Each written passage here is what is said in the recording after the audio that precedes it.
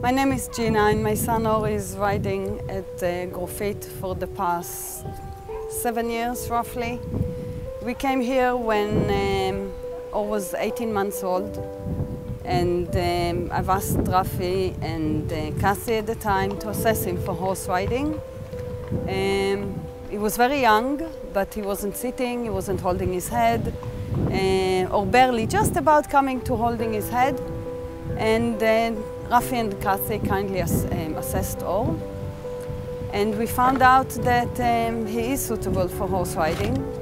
I cannot tell you the benefits of um, horse riding in a sentence, but I can tell you that my son was found last year to have cerebral palsy with four parts of his brain damaged.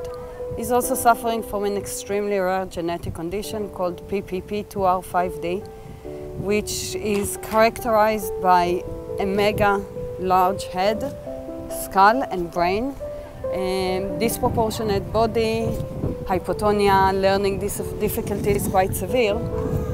Considering the fact that Or has two major conditions in his body, the fact that he has progressed physically so far and mentally so far is quite remarkable. The benefits of horse riding are massive.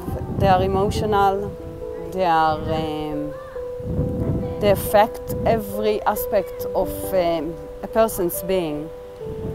It strengthened Or's body, it strengthened his stomach muscles, it helped him learn, it helped his brain learn how to walk.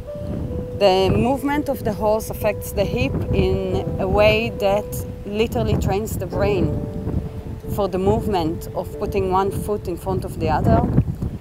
Um, there is no machine, there is no other exercise that can mimic that for the brain.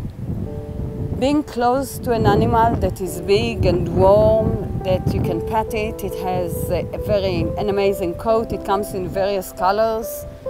Even the air that they blow out of their noses and the sounds of them chewing on food had all intrigued Or to no end there is no way you can measure the benefits that it does, that it provides the children with.